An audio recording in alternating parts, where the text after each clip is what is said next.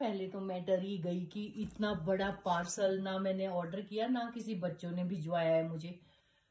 फिर एकदम से ध्यान आया, जब उन्होंने कहा, ये ब्लू डार्ट से आया है आपका पार्सल। तो पहले तो मैंने कुरियर वाले से मज़ाक किया, कहीं ये बॉम्ब तो नहीं है? फिर वो हंसने लगा, बेचारा अपने ऑफ़िस कॉल किया, क्योंकि ऐसा कोई था ही नहीं जिसने मुझे कॉल किया होगा, हुआ।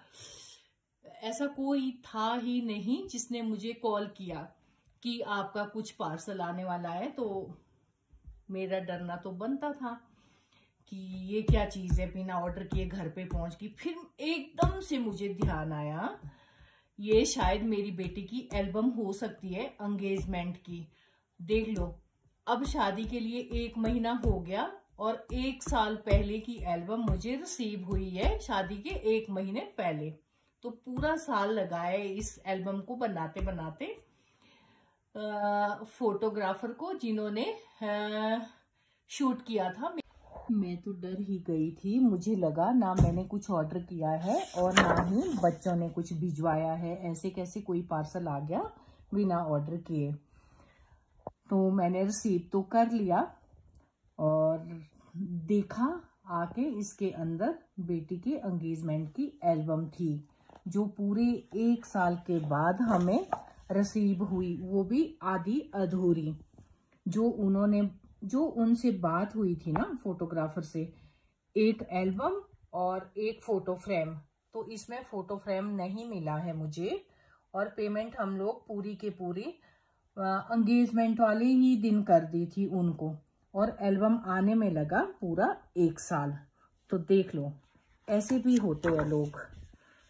पर जो भी है, चलो ठीक ठाक बनाई है एल्बम तो ठीक ठाक बनाई है पर जो होता है ना अपना एक प्रॉमिस जो हम लोग मुँह से किसी को बोलते हैं ना, ये टाइम इतना टाइम पीरियड है आपका, इस टाइम पीरियड में आपका काम हो जाएगा। पर वैसा कुछ भी नहीं था।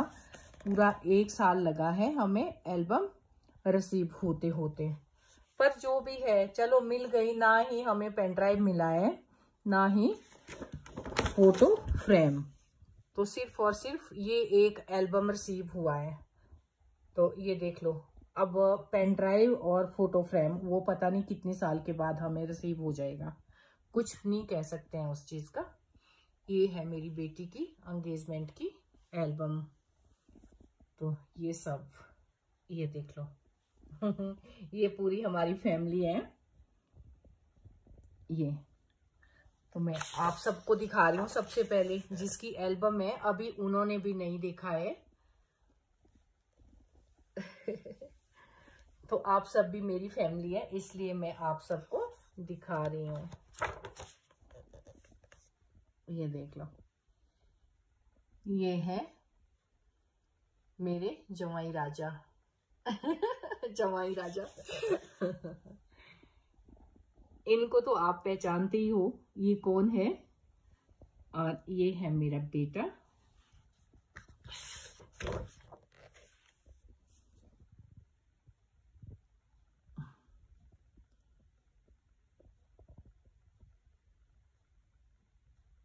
ये अंगेजमेंट रिंग दोनों की।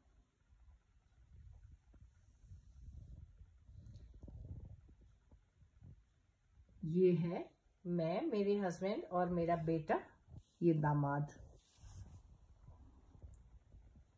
बस इतना ही दिखाऊँगी आप लोगों को। अभी मेरे बच्चों ने भी नहीं देखा है।